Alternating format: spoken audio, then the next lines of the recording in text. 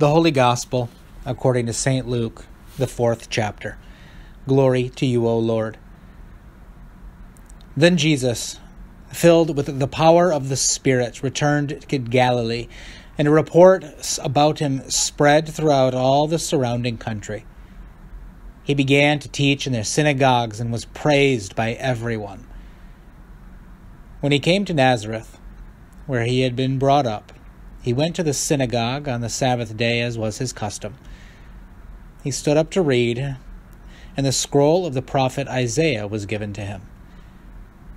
He unrolled the scroll and found the place where it was written The Spirit of the Lord is upon me, because he has anointed me to bring good news to the poor. He has sent me to proclaim release to the captives and recover the sight of the blind, to let the oppressed go free, to proclaim the year of the Lord's favor. And he rolled up the scroll, gave it back to the attendant, and sat down. The eyes of all in the synagogue were fixed on him. Then he began to say to them, Today this scripture has been fulfilled in your hearing the gospel of our Lord. Praise to you, O Christ. The body of Christ is the body that resurrects. And as a member of the church, the body of Christ on earth, we hold fast to this promise. Resurrection as community grounded in the love of Christ, guided by the Holy Spirit, we are going to be together forever. God has created us this way. God has brought us together to be the body of Christ on earth, and our job is simply to be ourselves. The magnificent creations that God decided this world needed that God decided this community couldn't live without. Now, this might seem like a lot of responsibility at first, and I think it is, but I also believe that you are already in possession of everything you need to succeed in your role as a child of God. Actually, I think this might be an easier way of life than our modern world may tell us is the only way. Personal salvation and self glorification, this demonic idea that you only need yourself. Contrary to the modern world in this place, in this church, you don't have to be the head. You don't have to be the shoulders bearing all the weight on your own. You see, in this place, in this church where God put you, there is good news for those who have felt that weight for all too long. It's not yours to bear alone. Even Atlas shrugged when he was condemned to carry the weight of the universe on his shoulders. It wasn't created for that. But you see, because of who God made you to be, you are a member of the body of Christ and you don't have to be self sufficient. You don't have to think about yourself first so that you can survive. Instead, you simply just get to be the person that God made you to be, an important part of the body, but not the whole body itself. In short, you don't have to do everything. You don't have to be perfect.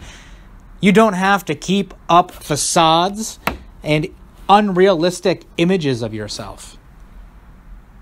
In this place, which I promise you is a holy and safe place, you can be yourself.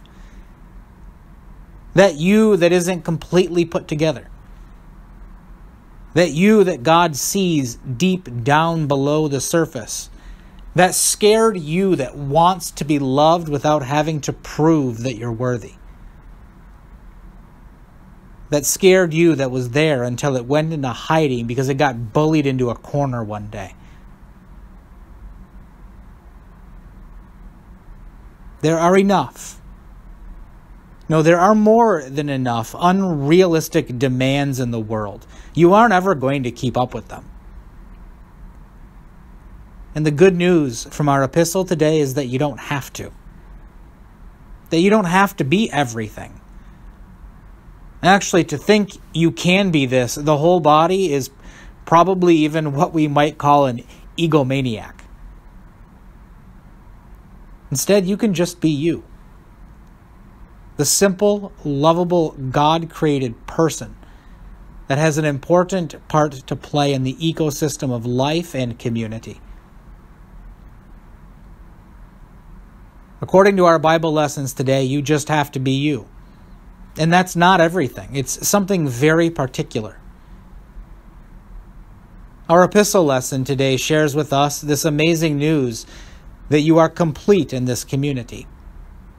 And yes, you may just be a finger or maybe just the toe, even, but that isn't what should matter.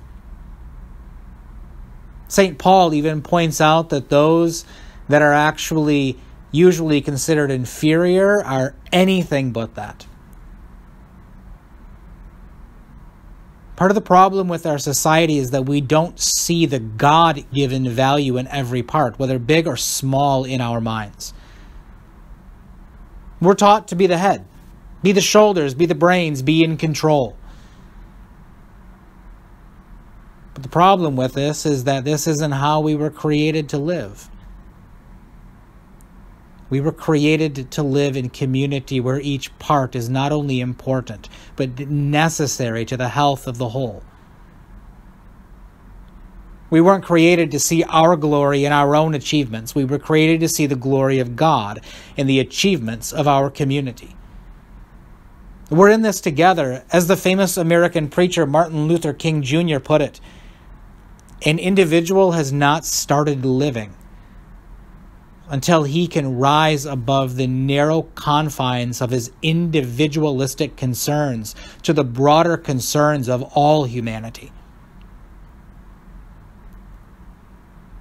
In theory, this all sounds well and dandy, but I know that in practice, none of us act this way all the time. Sin has a hold on us. We've been taught by our sinful world that it's the fittest who survive. We've been taught that it's either us or them. We've been taught that success means being the head, but our epistle today challenges this selfish way of thinking. And it helps us to see that as a community, we are so much more than we are alone. I mean, even the head can't survive without the torso, right? No matter how much we may want to do it by ourselves, it truly is futile. Whether we all see it yet or not, we really do need each other. No matter if we think we don't. No matter if we are too scared to reach out for help yet. The good news today is that we don't have to be everything. We simply need to be us.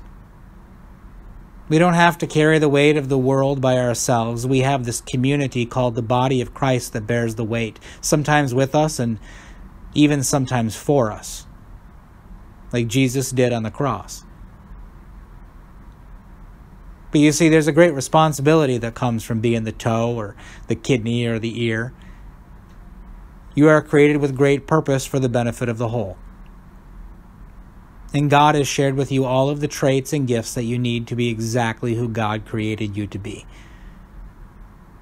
These wonderful gifts shared with you through the imparting of the Holy Spirit are meant for us all.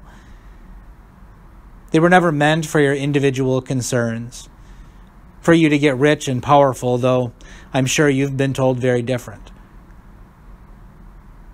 They were meant for the health of the body of Christ, for the growing and nurturing of community. They were meant for the building up of each other. Actually, Jesus demonstrates this for us in our gospel today. Using the gifts of the Holy Spirit in the Spirit they, they were meant for service to God and those that God loves. Now, in our gospel, we have just witnessed the devil's temptation of Jesus. demonic forces tried to give Jesus anything he wants in order to use his gifts selfishly. But as we all know, the devil can't trick Jesus into it. Jesus refuses to play his game. He knows better. The devil doesn't have what Jesus wants. His ministry, and ours too, is to be what the Father made it to be. Jesus remains loyal to himself and to the Father throughout his ministry, even as it begins today when he stands up to read in the synagogue.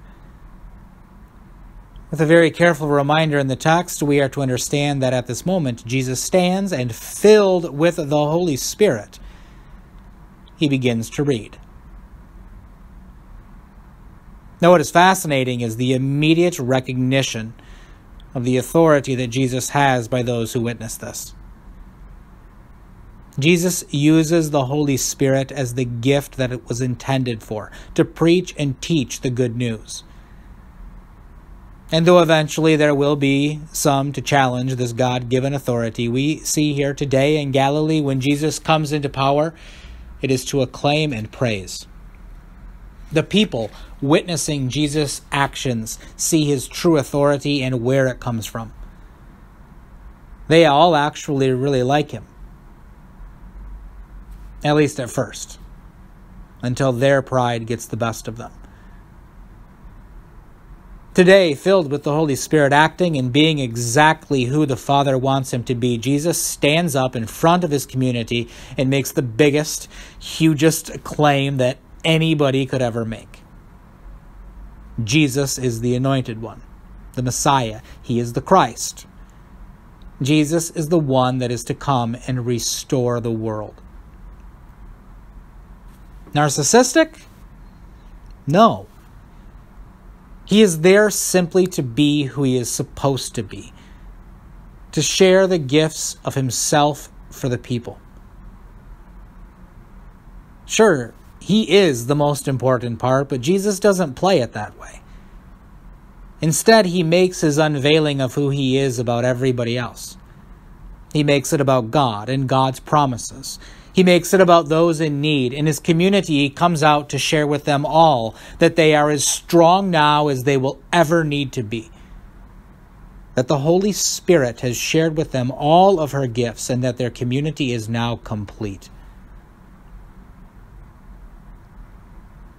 Jesus shows us what it means to use our God given gifts for the upbuilding of our community, for the glory of God setting aside our own grandeur and simply being exactly who God wants us to be ourselves.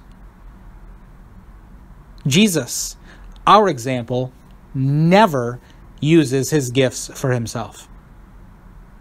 Even though, as we will learn as the gospel continues, the devil isn't going to give up trying to trick him into it. Jesus shows us what it means to have the Spirit descend upon us showing to us the completeness that we have in the Holy Spirit's indwelling inside of us, something that we all have. What more do you need to be? What more do you need to do? Nothing. The good news today is that you simply need to be who God created you to be, and that's it. Be that person inside that you have always known, but that you may have tried to keep secret. Because that real you is more than you may have ever imagined. You are important. God has decided that the body needs you.